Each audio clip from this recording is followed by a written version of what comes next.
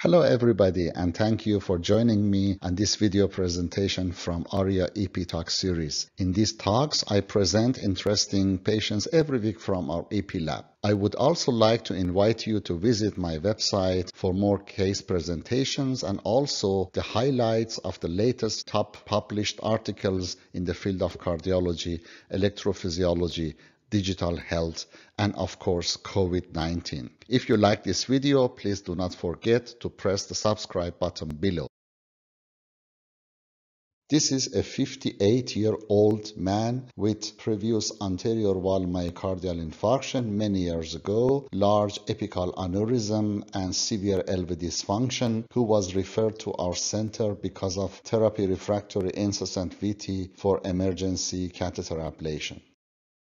This is the 12-lead ECG of our patient showing a ventricular tachycardia with a cycle length of 500 milliseconds. The ECG shows a left bundle branch block pattern, which is not uncommon in patients with large aneurysms after anterior wall myocardial infarction. We have an inferior axis and positive 1.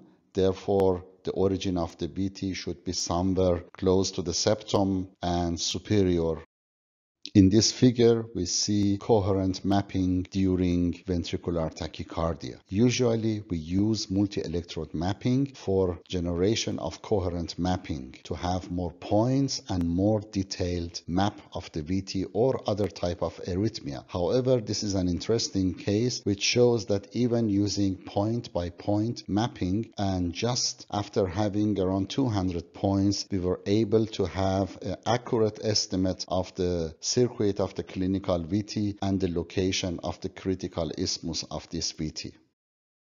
On the left side, we see coherent mapping. This is a dynamic mapping. And uh, as I said on previous slide, you can see here the circuit of the VT, even with a limited number of points. On the right side, we see the signal on the successful ablation site, almost a mid-diastolic potential on the critical isthmus. Now we can see also the effect of ablation and then the termination of the ventricular tachycardia.